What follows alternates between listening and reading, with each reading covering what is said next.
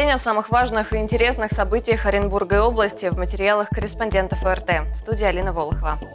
И вот о чем мы поговорим в ближайшие 20 минут.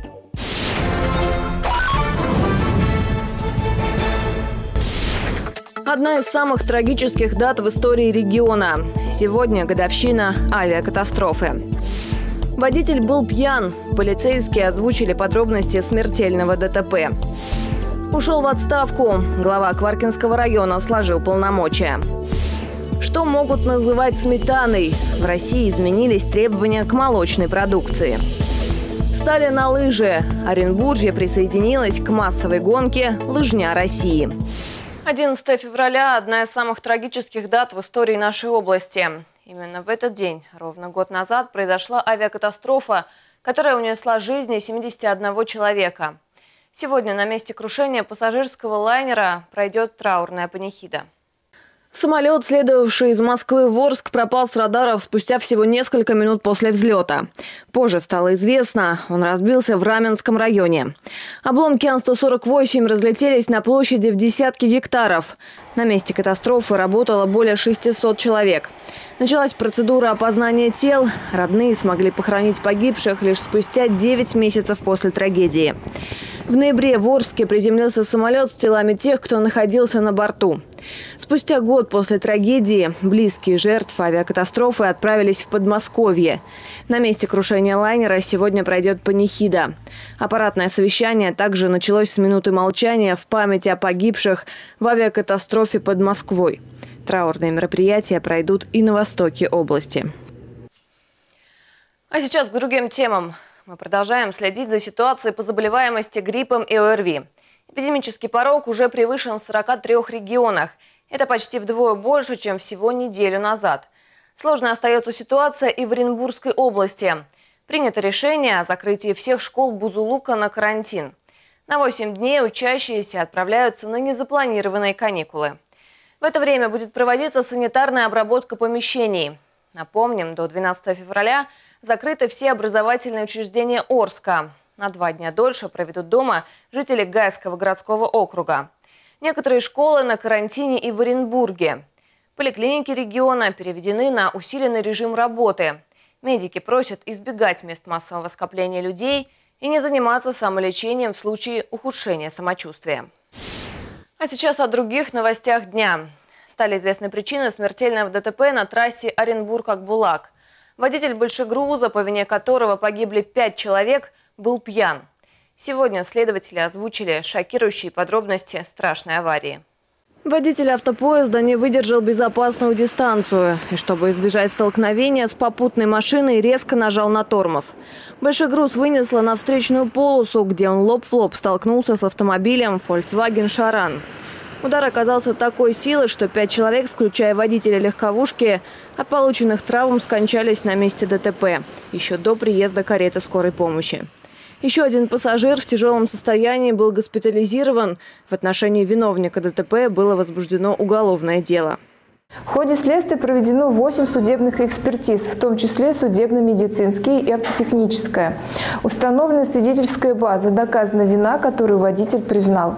Все необходимые следственные и процессуальные действия выполнены. Уголовное дело в настоящий момент с обвинительным заключением направлено в суд для рассмотрения. Водителю большегруза грозит до 9 лет лишения свободы. И еще о происшествиях.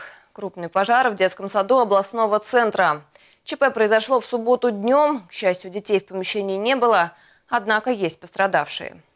На место ЧП прибыли больше 30 пожарных и 8 единиц техники. После осмотра оказалось, что горит здание бывшего бассейна. Оно находится отдельно от основного строения и уже не используется. Как сообщили в региональном МЧС, есть один пострадавший. Местного сторожа с ожогами доставили в больницу. Сегодня в здании проходит санитарная уборка помещений. Как уточнили в городской администрации, детский сад номер 151 возобновит свою работу уже во вторник, 12 февраля. Нелегальное пересечение границы закончилось реанимацией. В Первомайском районе специалисты пограничного управления ФСБ задержали группу уроженцев Центральноазиатского региона. Они пешком, без документов, решили пересечь российскую границу. Но не все оказались готовы к крепкому морозу. Женщина получила серьезное обморожение. После оказания первой помощи ее сразу же доставили в реанимацию Первомайской больницы. В отношении остальных задержанных проводится проверка. Как сообщили в пограничном управлении, ранее этих нелегалов уже выдворяли за пределы страны. Они в течение пяти лет не имели права пересекать российскую границу. На проспекте Гагарина лоб-лоб столкнулись две легковушки. Серьезное ДТП произошло в субботу около 7 часов вечера неподалеку от дома 39-3. Как сообщили в региональном УМВД, виновником аварии стал 31-летний водитель автомобиля «Лифан». Он выехал на полосу встречного движения. В результате столкновения пострадала 27-летняя пассажирка люксовой иномарки. С места ДТП ее госпитализировали с множественными переломами правой голени. Сам виновник аварии от прохождения медосвидетельствования отказался. Сотрудники полиции составили составили в отношении него административный протокол. Проверка по факту ДТП продолжается. Сложная дорожная обстановка сохраняется в нашем регионе. Туман и изморозь продолжают господствовать в Оренбуржье. Однако снегопады позволят нам немного отдохнуть. Синоптики не прогнозируют осадков до выходных. На помощь коммунальщикам приходят и оренбургские инженеры. Новые методы борьбы со снегом разработали в Переволодске – на механическом заводе стартовал выпуск уникальных снегоуборщиков. Особенности оборудования и масштабы производства оценили мои коллеги Ольга Энгельс и Владислав Горбунов. Сергей Никитин помнит расцвет предприятия и банкротство в 90-е и новый подъем производства. Он из тех, кто стоял у самых истоков. Сейчас его обязанности – крепкий каркас будущему ротору. По сути, это скелет, от надежности которого зависит срок службы снегоуборщика. Корпус, на него потом все фрезы вешаются, навески. Ну, на трактор все это оборудование. Снегоуборочные машины, сеноизмельчители, лопаты для тракторов на заводе берутся за любой заказ. Это самый первый образец, который здесь собрали. Он чистит территорию предприятия и улицы райцентра. За 10 лет не знал ни одного ремонта. Специалисты отмечают, что техника переволодского механического не имеет аналогов в России. Мы применили одноступенчатую работу, схему работы снегоуборочных машин. Но не, не такую, которая применялась, ну и применяется в большинстве агрегатов сегодняшние, которые производят на других заводах. Это оборудование на нашем предприятии мы разрабатывали самостоятельно, поэтому аналогов э, в нашей стране производит никто. Техника механического завода чистит улицы Оренбурга, Москвы, Сахалина, Тюмени. Сейчас здесь выполняют большой заказ для заснеженного Саратова. Количество заказов говорит само за себя. Из-за суровой зимы здесь не успевают выполнять большие объемы. Такое предприятие в регионе не единственное. Получается определенная синергия, когда в Бузлуке собирают трактор «Беларус», а в Переволодске делают для него э, дополнительное навесное оборудование, и это значительно э, добавляет его ценность для собственника. То есть, кроме того, что это трактор, который выполняет ряд сельскохозяйственных операций, он еще становится коммунальной техникой. На предприятии работают 100 человек, почти все жители Переволодска и ближайших сел. Средняя зарплата рабочих 30 тысяч рублей. По словам заводчан, это хорошие деньги для села. Для района это один из главных работодателей и налогоплательщиков. В среднем где-то за год они платят где-то в пределах 3 миллионов рублей бюджета, только бюджет района. Это ну, существенная сумма для района, конечно же. Более 500 единиц снегоуборочной сельскохозяйственной техники выходит с конвейера этого завода ежегодно, но на этом останавливаться здесь не собираются. Например, вот это ротор, предназначенный для небольшого трактора типа МТЗ. Сейчас инженеры завода разрабатывают новую модель для крупногабаритной техники. Ольга Энгельс, Владислав Горбунов. Новости дня. А сейчас мы прервемся на небольшой рекламный блок, после которого вернемся и в нашей студии продолжим говорить о главных новостях дня.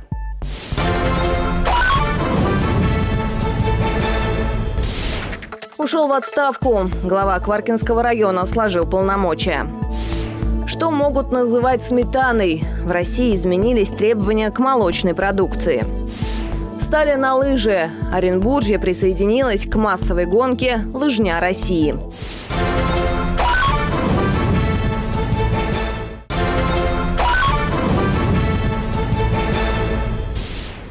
Мы продолжаем в нашей студии говорить о новостях дня.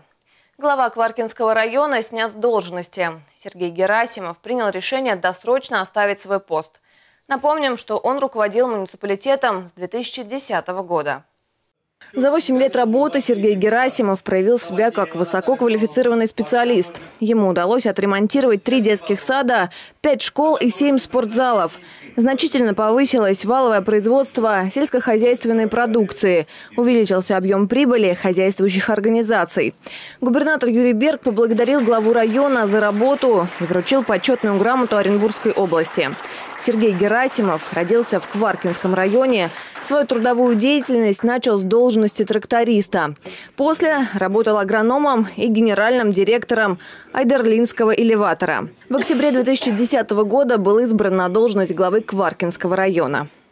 В России изменились требования к маркировке молочной продукции. Теперь, если в составе содержатся растительные жиры, называть их сметаной или, например, кефиром нельзя.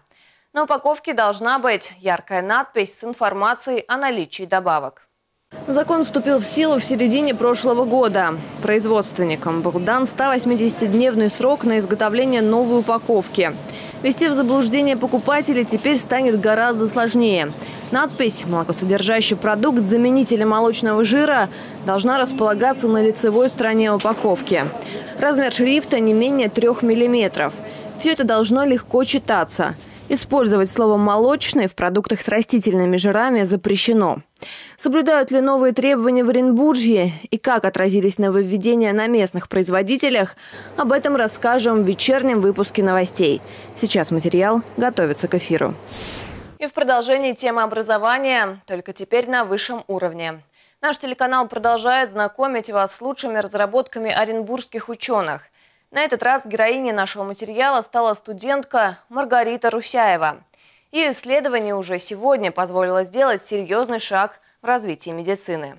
Мы видим зону подавления роста микроорганизмов, либо наоборот – Маргарита – студентка четвертого курса. В основе ее исследований – биотоксические химические соединения. Ее открытия помогают создавать современные дезинфицирующие средства, а также различные медицинские препараты. На основе металлов сейчас очень редко используют различные мази, и поэтому мы именно ищем э, те металлы, которые будут наиболее э, эффективны в отношении микроорганизмов, так как сейчас эра антибиотикорезистентности, и микроорганизмы очень устойчивы к различным различным антибиотикам. О профессии микробиолога девушка мечтала еще со школы. Уже с первого курса Маргарита начала заниматься наукой. Ее авторские разработки уже не раз оценили на всероссийских и международных форумах. Одним из последних достижений девушки стала победа на конкурсе «Студент года». Каждого человека делает что-то счастливым.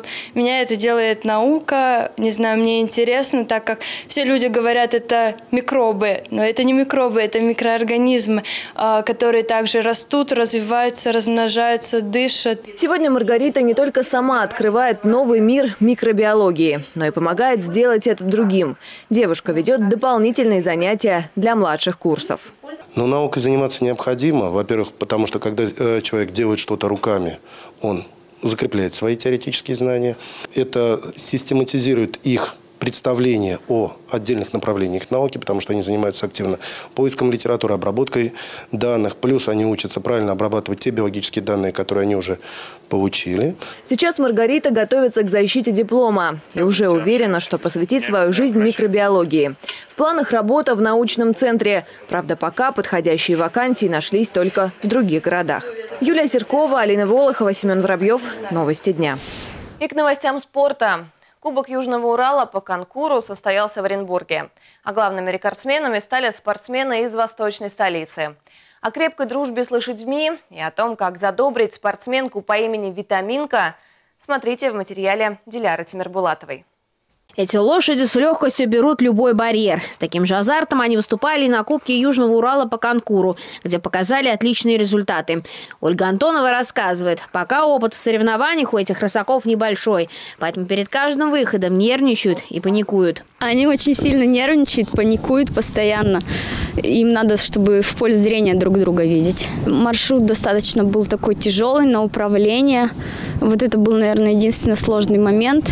Ну, радостный, конечно, очень радовалась за своих спортсменов, которые прошли чисто и заняли призовые места. Ольга Антонова гордится своим скакуном. Семилетняя Вильгерсия любит прогулки.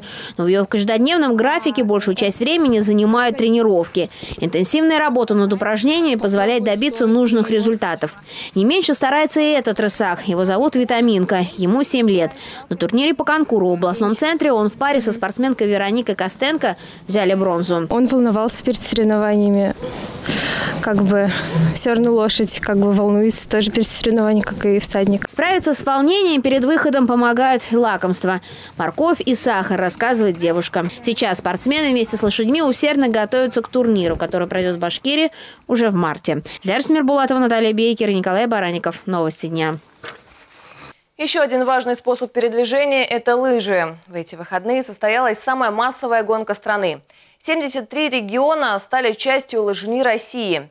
В Оренбурге местом проведения традиционно стала Большая поляна за Уральной рощи.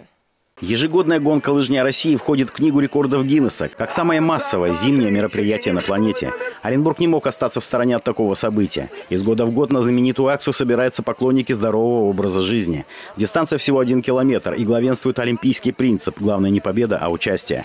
Программе забеги вид персоны ветеранов, спортсменов с ограниченными возможностями здоровья, школьниц и школьников, студентов СУЗов и ВУЗов, коллектива физкультуры. Спасибо нашим оренбуржцам, что они вот так активно откликаются на э, проведение таких вот соревнований замечательных общероссийских. Причем в строю стоят и люди уже достаточно солидного возраста, и ребятишки совсем маленькие, и представители самых разных профессий, и чиновники встали на лыжи, и наша администрация здесь тоже на лыжах стоит. Поэтому все в одном спортивном строю, все равны, у всех хорошее настроение. Победители и призеры гонки в различных категориях награждались кубками и дипломами, медалями и подарками. Всего в этом лыжном фестивале приняли участие более пяти тысяч любителей активного образа жизни.